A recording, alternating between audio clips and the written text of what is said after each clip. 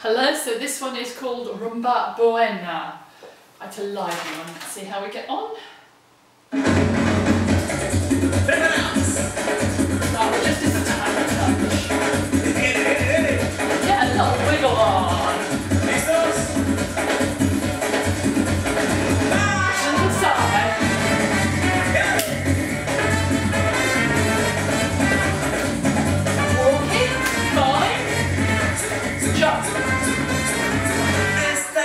Así que es fiesta.